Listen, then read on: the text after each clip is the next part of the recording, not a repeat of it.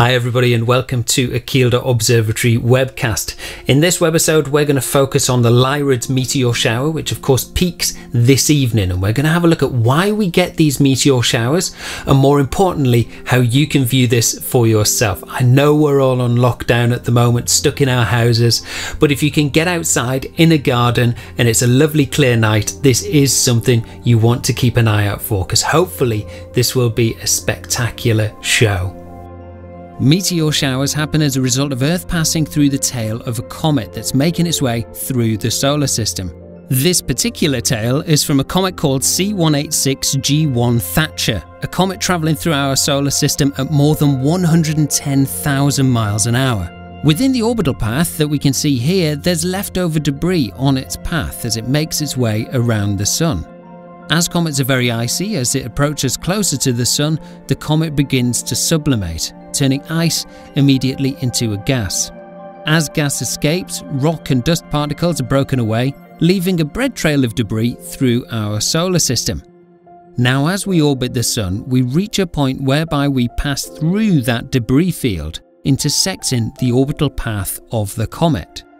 The dust particles then enter through Earth's atmosphere at such speeds that they develop a superheated pocket of air towards the front end. As they heat up, they emit light and then they become visible to the naked eye.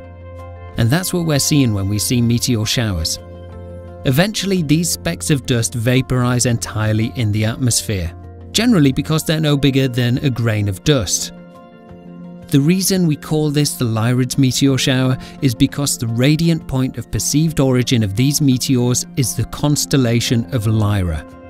However, if we look directly at Lyra, we're only likely to see short tails as the meteors are coming straight towards us. So best to look maybe one or two hands width away from the constellation in the sky, whether that be above your head or maybe half a turn to the left or to the right away from the constellation of Lyra.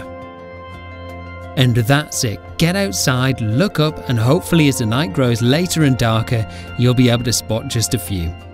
Join us again soon for more moonlit chunks of astronomy. Don't forget to check out our website kielderobservatory.org and book onto events later on in the year. You can do that by visiting kielderobservatory.org.